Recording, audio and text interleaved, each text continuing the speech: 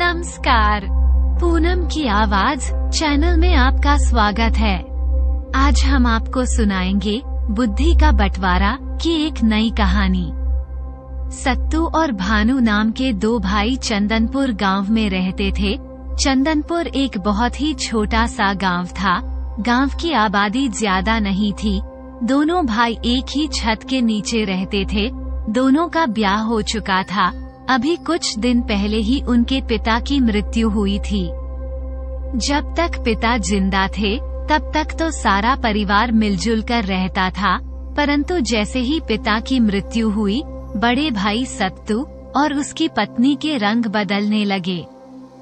बड़ा भाई कुछ तेज तर्रार किस्म का आदमी था, वो बात बात पर अपने बड़े होने का फ़ायदा उठाने लगा। छोटा भाई भानु बहुत ही सीधा साधा सा लड़का था, और उसकी पत्नी भी बहुत ही सरल स्वभाव की थी। इधर बड़े भाई की टोकाटाकी चलने लगी, और दूसरी तरफ़ दोनों भाइयों की पत्नियों में भी तू मैं होती रहती। कुछ दिनों में तो हालत ये हो गई कि दोनों भाइयों ने अपनी अपनी रसोइयाँ अलग अलग कर ली। इसके बावजूद भी घर में अशांति बनी ही रहती।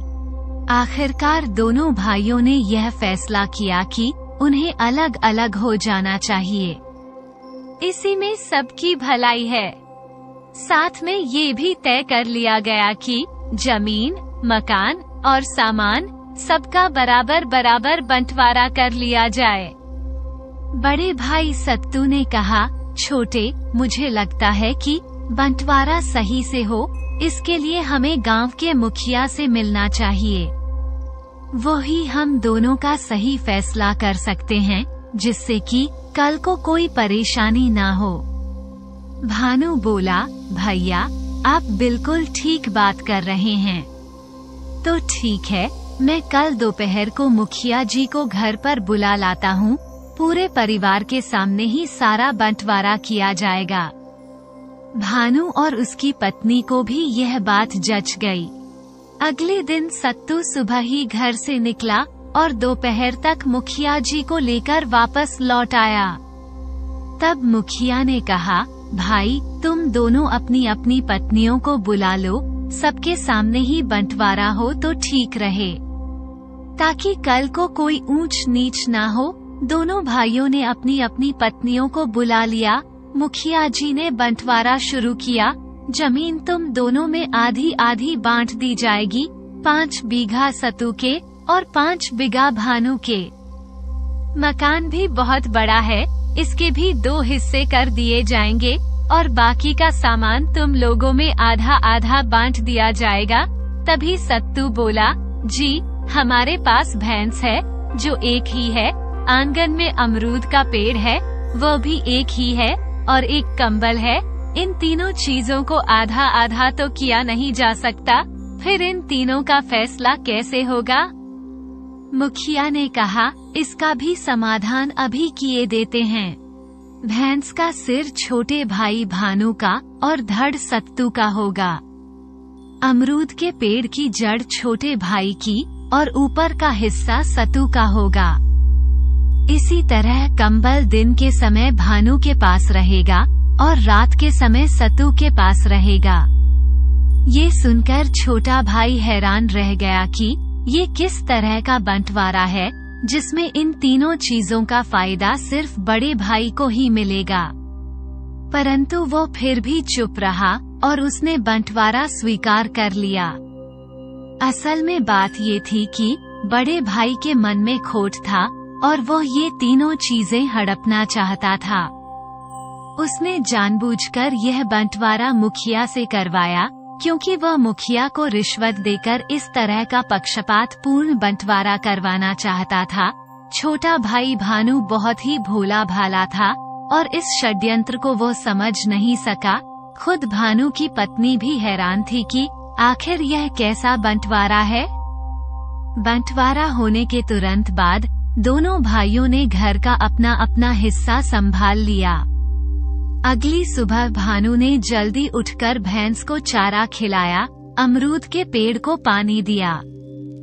जब भैंस का दूध निकालने का समय हुआ तो तुरंत सतु वहाँ पर पहुँच गया और बोला, तुम दूर हटो, भैंस के धड़ पर सिर्फ़ मेरा अधिकार है, इसीलिए ये दूध सिर्फ़ मुझे मिलेगा।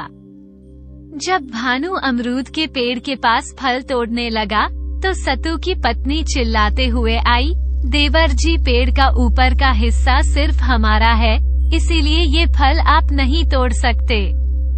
शाम का समय हुआ तो बड़ा भाई कंबल लेकर चला गया, कि कंबल रात के समय उसी के पास रहेगा, यही तो बंटवारे की शर्तें थी। रात को भानु की पत्नी ने कहा, सुनो जी आपके बड़े भाई ने आपके साथ छल किया है।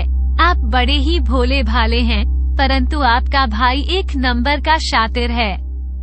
तुम ठीक कह रही हो, मैं ही मूर्ख था, जो भैया का ये षड्यंत्र नहीं समझ सका। आप चिंता ना करें, एक ही दिन में ये सारा मामला ठीक हो जाएगा। बस कल आप वही करना, जो मैं आपसे कहूँगी, आपका भाई कितना भी शातिर हो वो ज़मीन का बंटवारा तो कर सकता है, परंतु मेरी बुद्धि का बंटवारा नहीं कर सकता। अगली सुबह भानु रोज की तरह उठकर भैंस को चारा खिलाता है, फिर अमरूद के पेड़ को सींचता है। कुछ देर बाद बड़ा भाई सत्तू आया, और उसके चेहरे पर एक कुटिल मुस्कान थी। वो भैंस का दूध निकालने लगा, तभी भानु ने एक डंडा उठाया, और भैंस के सिर पर दे मारा। भैंस बिदक गई और उसने दूध नहीं निकालने दिया, तभी सत्तू ने झल्लाते हुए कहा, मूर्ख क्या कर रहा है? भानु ने सहजता से कहा, मैं तुम्हारे नहीं, बल्कि अपने हिस्से को पीट रहा हूँ, बेचारा सत्तू दूध नहीं निकाल पाया। शाम हुई तो भानु ने कंबल पानी में भिगो दिया और रात को जब सत्तू कंबल लेने के लिए आया तो कंबल पानी से निकालकर उसे थमा दिया, और कहा, लो, बहुत भारी हो गया है, इसे ठीक से पकड़ लो, पर तुमने इस कंबल को पानी में क्यों डाला? ये दिन में मेरा है, और जो चाहे मैं इसके साथ करूँ। अब ये कंबल सत्तू के काम का नहीं रहा, गीले कंबल का वह रात को क्या करता? सत्तू मन ही मन में भानु को बुरा भला कहता हुआ वापस लौट गया। सत्तू की पत्नी ने कहा, यह आपके भाई को क्या हो गया है? इस मूर्ख को इतनी बुद्धि कैसे आ गई? क्या मालूम कौन उसे ये पट्टी पढ़ा रहा है? कल सुबह देखते हैं, क्या माजरा है? अगली सुबह आँगन से ठक ठक की आवाज़ आने लगी तो सत्तू और उसकी पत्नी की नींद खुल गई, वो दोनों बाहर निकले तो देखा भानु कुल्हाड़ी लेकर अमरूद के पेड़ की जड़ काट रहा था। सत्तू दौड़ा दौड़ा गया और बोला, बस कर भाई, अब तू अमरूद क्यों काट रहा है? अमरूद की जड़ तो मेरी है ना तो मैं इसे पानी से सींचूं या कुल्हाड़ी से काटूं, मेरी मर्ज़ी? तब सतु ने कहा, आखिर तू ये क्यों कर रहा है? भानु ने कहा मैं तो बस एक सही बंटवारा चाहता हूँ, जो बिना किसी पक्षपात के हो, वैसा नहीं जैसा तुमने बेईमान मुखिया को रिश्वत देकर करवाया था।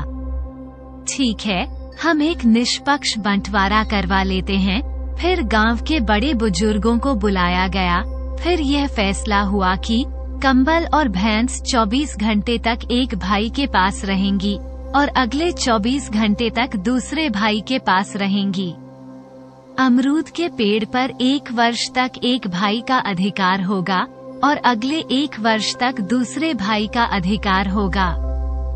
इस तरह से पंचायत ने दूध का दूध और पानी का पानी कर दिया। रतौली गाँव में जानकी राम नाम का एक आदमी रहता था। रात के समय गली में कुत्तों के भोंकने की आवाज़ सुनकर जानकी राम जाग गया। तब तक आधी रात बीत चुकी थी। कुत्तों के भोंकने का कारण जानने के लिए जानकी राम कीवाड़ खोलकर बाहर आया। उस अंधेरे में एक गधे को देखकर कुत्ते भोंक रहे थे। जानकी राम ने कुत्तों को भगाया। जब वो अंदर जाने लगा, तब उसकी नज़र बाहर लेते हुए एक अजनबी पर पड़ी। जानकी राम ने पूछा, कौन है? पर उसे कोई जवाब ना मिला।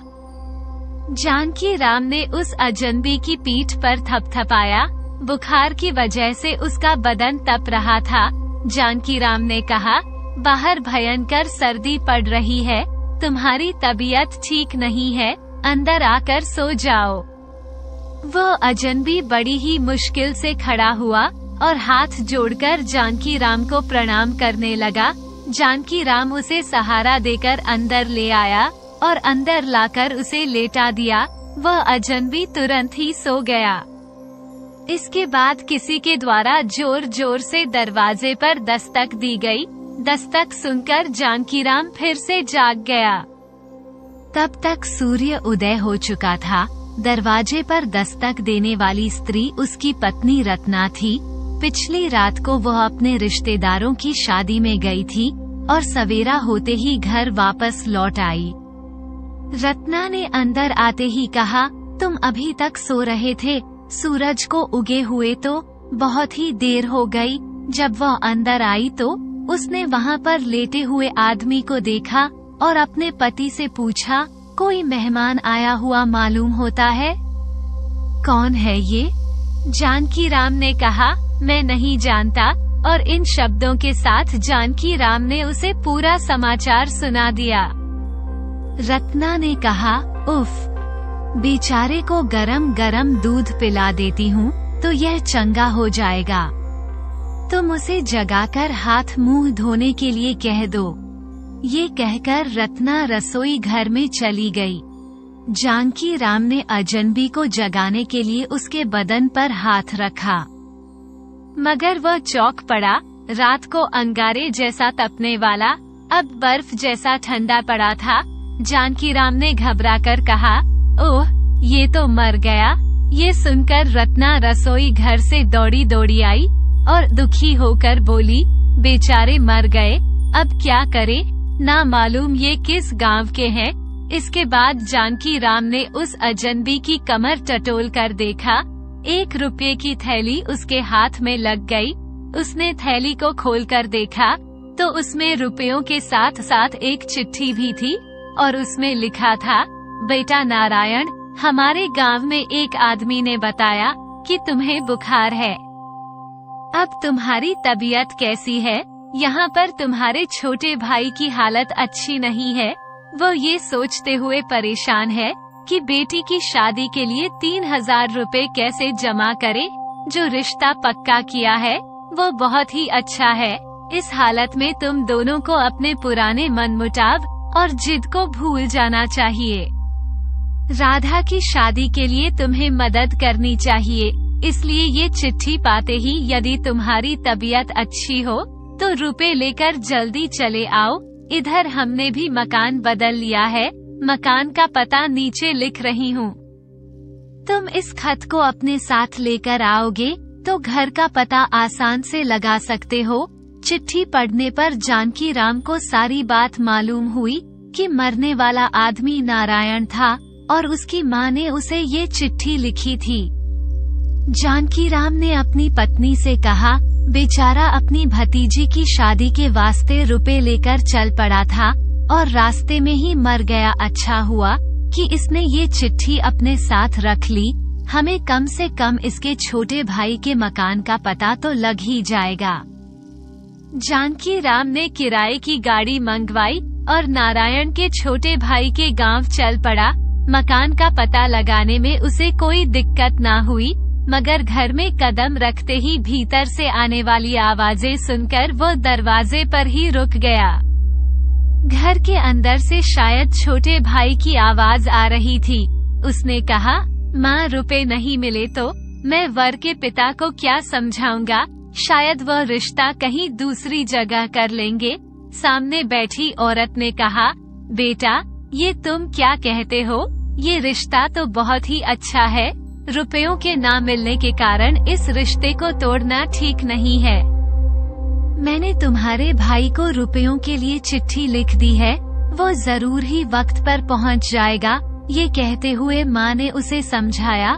छोटा भाई फिर से बोला, माँ तुमने मुझसे पूछे बिना ही बड़े भाई को चिट्ठी क्यों लिखी? भाई के रुपयों को मैं हाथ भी नहीं लगाऊँगा, उस धन से मैं अपनी बेटी की शादी नहीं करूँगा। तब माँ ने भर्राए हुए स्वर में कहा, अरे बेटा, छोटी सी बात को लेकर तुम दोनों भाइयों के बीच जो मनमुटाव हो गया है, उसकी वजह से तुम दोनों एक दूसरे का चेहरा तक नहीं देखते हो। मैंने सोचा था कि कम से कम राधा की शादी के बहाने ही तुम दोनों फिर से एक हो जाओगे। इतने में जानकी राम ने दरवाजे पर दस्तक देकर पूछा, क्या नारायण के छोटे भाई का मकान यही है? भीतर से चालीस साल का एक आदमी दरवाज़ा खोलकर आश्चर्य में आ गया और बोला, आप कौन हैं? अंदर आ जाइए। जानकी राम अंदर जाकर बैठ गया और रुपयों से भरी हुई थैली वहाँ पर रखते हुए, छोटे भाई को वो चिट्ठी थमा दी। छोटे भाई ने चिट्ठी पढ़ी और कहा, ये चिट्ठी तो मेरी माँ ने लिखी है और भैया के नाम पर लिखी होगी। वो खुद आने में संकोच करते होंगे, इसलिए रुपए भेज दिए। कृपया आप इस रुपयों की थैली को मेरे सामने से हटा लीजिए। जानकी दास ने कहा आपके बड़े भाई खुद आना चाहते थे, लेकिन आ नहीं पाए। आप दोनों की मुलाकात अब इस ज़िंदगी में नहीं हो सकती। इन शब्दों के साथ जानकी राम ने उसे सारा किस्सा सुना दिया। अब छोटे भाई का चेहरा एकदम सफ़ेद पड़ गया। माँ तड़प कर रो उठी और छोटा भाई रोते रोते बोला, भैया, मुझे माफ़ कर दो। उसे रोते हुए देखकर भी थोड़ी सी भी सहानुभूति दिखाए बिना जानकी राम बोला, ज़िंदा आदमी की कीमत लगाना मुश्किल है। आपके बड़े भाई का अगर आपके प्रति बहुत ज़्यादा प्यार ना होता तो तबीयत खराब होने के बावजूद भी, वो रुपए लेकर क्यों चल पड़ते? आप अपने भाई के प्रेम से वंचित रह गए, अब उसे चाहकर भी नहीं पा सकते। इतने में पचास साल का एक आदमी वहाँ पर आया, और उसने पूछा, ये सब क्या हो रहा है? आखिर हुआ क्या? उस आदमी को देखते ही माँ और छोटा भाई दोनों ने रोना बंद कर दिया और हैरान होकर उसे देखने लगे। छोटा भाई उसके समीप गया और बोला, क्या आप ज़िंदा हैं? मैं तो बेवकूफ़ ठहरा, आपकी महानता को ना समझ पाया और यह कहते हुए उसने अपने बड़े भाई के पैरों को छू लिया।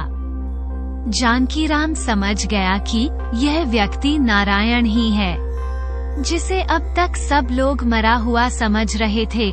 सारा समाचार जानकर नारायण ने हँसते हुए कहा, मैं रुपयों की थैली लेकर परसों ही घर से निकल पड़ा था, और राधा के वास्ते रेशमी साड़ी खरीदने के लिए मैं शहर के एक दुकान में गया। वहाँ पर एक बूढ़ा भीख मांगते मांगते मेरे पीछे पड़ गया। उस पर मुझे दया आ गई। और मैंने रुपयों की थैली में से एक रुपया निकालकर उसे दे दिया। इसके बाद मैं दुकान में पहुंचकर साड़ियाँ देखने लगा, पर वह बूढ़ा आदमी मेरे पीछे ही लगा हुआ था, इसलिए मुझे उस पर संदेह हुआ, मैंने साड़ियाँ खरीद ली, और रुपयों की थैली निकालने को हुआ, तभी देखता हूँ कि थैली गायब थी। इसके बाद मैं सीधे घर पर पहुँचा और फिर से रुपए लेकर तुम्हारे घर के लिए चल पड़ा। जानकी राम के घर में जो आदमी मर गया, वो शायद वही चोर होगा। ये कहते हुए नारायण ने जानकी राम को समझाया। माँ ने खुश होते हुए कहा अच्छा हुआ, उस चोर ने मरकर हम लोगों का भला किया। उसकी वजह से तुम दोनों भाई एक बार फिर से एक हो गए। तब जानकी राम ने कहा कि, माँ जी उस चोर की वजह से नहीं, बल्कि आपकी लिखी हुई चिट्ठी का ही यह कमाल है। इधर नारायण और उसके भाई ने जानकी राम का धन्यवाद किया कि उसने चोरी किए हुए रुपयों की थैली को उन तक वापस पहुँचा दिया, और साथ ही जानकी राम को शादी का निमंत्रण भी दिया। इसके बाद जानकी राम वापस अपने घर पहुँचा, और उसने उस चोर का दाह संस्कार करवाया। अब जानकी राम के मन में ये संतुष्टि थी कि उसने आज कई सारे पुण्य के काम किए। जैसे चोरी की हुई रुपयों की थैली को वापस सही जगह पर पहुँचाया और उस चोर का दाह संस्कार भी किया और उसे नारायण के रूप में एक अच्छा मित्र भी मिल गया। दोस्तों, अगर आपको हमारी यह कहानी पसंद आई हो तो प्लीज़ हमारे चैनल को सब्सक्राइब करें, वीडियो को लाइक करें और शेयर करें। कहानी को अंत तक सुनने के लिए आपका धन्यवाद।